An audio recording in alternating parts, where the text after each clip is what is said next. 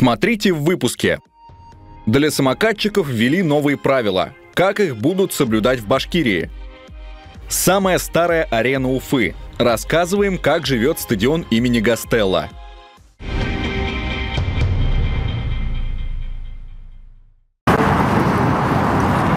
С 1 марта статус самокатчиков кардинально изменился. Теперь они являются полноценными участниками дорожного движения.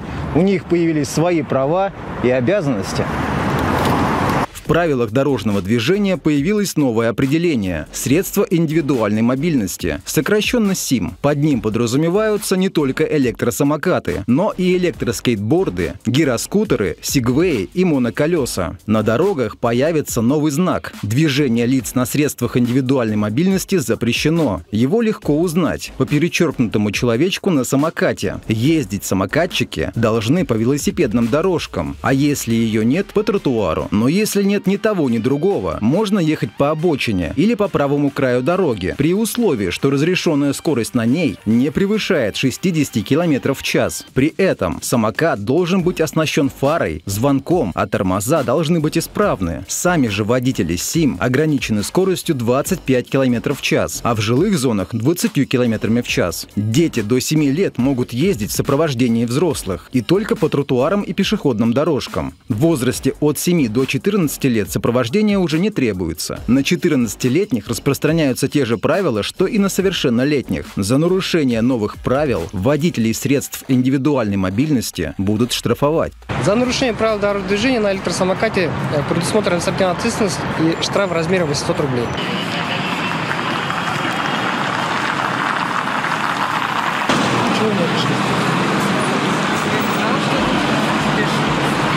Даже на велосипедах надо спешиться. Самокатчики нередко становятся участниками дорожных аварий, попадают под колеса автомобилей или на полном ходу сбивают пешеходов. С начала текущего года в республике зарегистрировано одно дорожно-транспортное происшествие случается самокаты, в котором один человек получил травму. Ужесточили правила пользования самокатами не только в России. В столице Франции, например, их прокат запретили вовсе. Такое решение было принято по итогам голосования парижан. Оно вступит в силу с 1 сентября 2023 года. На наших улицах арендовать самокат по-прежнему можно. По словам представителя кикшеринговой компании, они опередили законодателей и ввели ограничения, в том числе скоростные, еще в прошлом сезоне. Для пользователей электросамокатов Э, с 1 марта ничего не изменилось. Точно так же, как они ездили раньше по правилам сервиса, также им теперь надо ездить. Просто эти правила обрели другой статус. Они стали э, правилами дорожного движения. Если раньше правила соблюдали только пользователи кикшерингов э, различных сервисов, то теперь они стали обязательными для всех, в том числе для частных самокатов. В целом наш собеседник положительно оценивает нововведения в правилах дорожного движения. По его словам, сейчас имидж двухколесного электротранспорта дискредитирован именно частными самокатчиками практически 70%, то есть 7 случаев из 10 негативных инцидентов с участием э, средств индивидуальной мобильности происходило именно с частными самокатами. Это сказывалось на общем восприятии самокатов и кикшеринга в том числе. В кикшеринговой компании ожидают, что новые правила для самокатов снизят негативную статистику, но для этого потребуется какое-то время. Это, в принципе, удобнее для всего города, потому что, когда вы идете по улице, вы знаете теперь, где ждать самокат, чего от него ожидать, где его место, с какой скоростью он может ехать. То есть это все делает самокаты более прозрачными, более понятными, и это в целом хорошо для города и для Уфы, и для Москвы, и для всех городов, где есть самокаты. Ну, фактически это вообще для всех городов э, нашей страны. Артур Бигнов, Руслан Габидулин, Андрей Лугоши. Телеканал ЮТВ.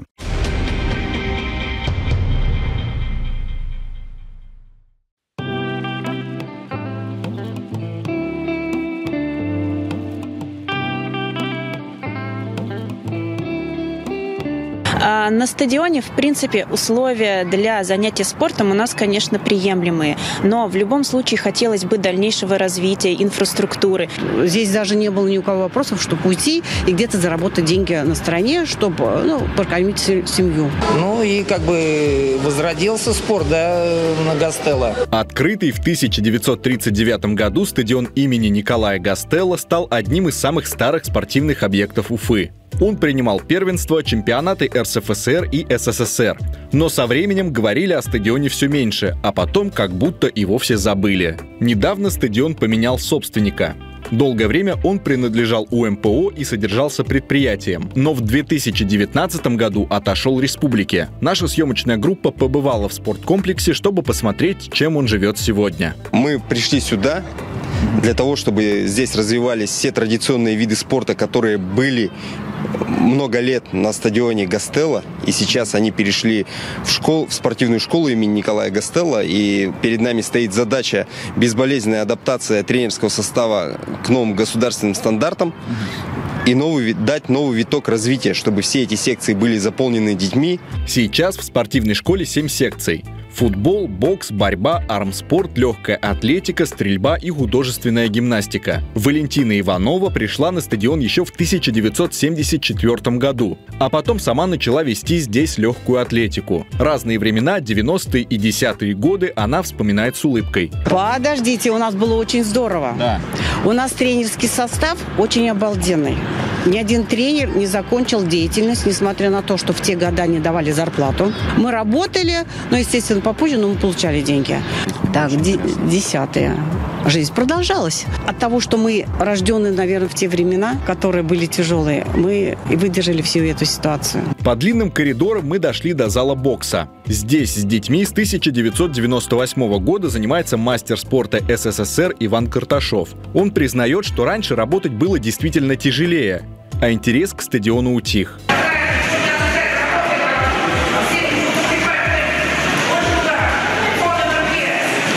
Рынок открывали на футбольном поле, где вы сейчас вот были, легкая атлетика. Здесь торговали вещами, стоянки были, где футбол играет, были автомобильные стоянки. Ну, зарплаты по 8 месяцев не платили. Не могу сказать, не могу, почему не уходили. Ну, наверное, патриоты своего клуба были. И в районе много секций открывалось, всяких там тайский бокс, кикбоксинг. Ну, из-за этого. А раньше в советское время один стадион Гастелла был на весь это Калининский район. Все, по Сейчас во всех секциях занимается более 600 спортсменов. Пока мы знакомились с комплексом, то несколько раз слышали от тренеров слова о том, что имеющиеся залы не могут вместить всех детей а поле не мешало бы перестелить заново. Возможно, э, допустим, нового зала борьбы, нового зала бокса, новый зал художественной гимнастики. То есть это как раз-таки, ну, как бы привлекло бы еще больше детей. Если, соответственно, у нас как бы будет развитие, залы там будут больше, соответственно, больше детей будут заниматься. Это своего рода популяризация привлечения детей к спорту. Занятия у нас для детей бесплатно, поэтому мы как бы очень нацелены, чтобы дети приходили, у нас занимались, максимально хотим всех вот прям детей вместить.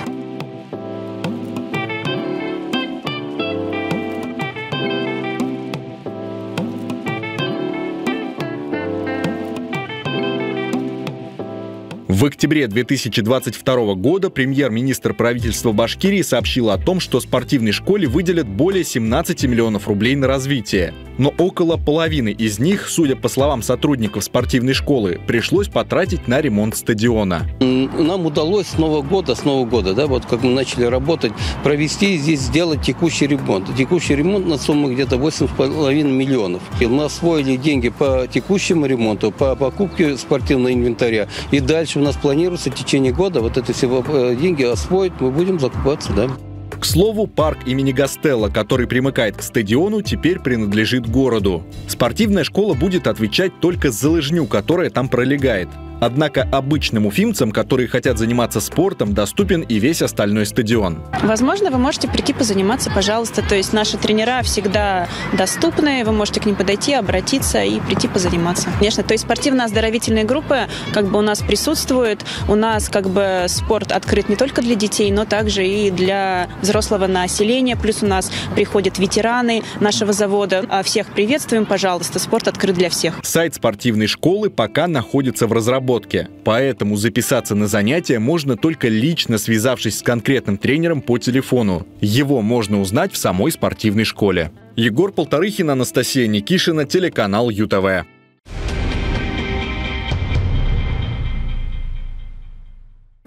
Здравствуйте, уважаемые зрители! Я ваша ведущая прогноза погоды Фарида Ветрова.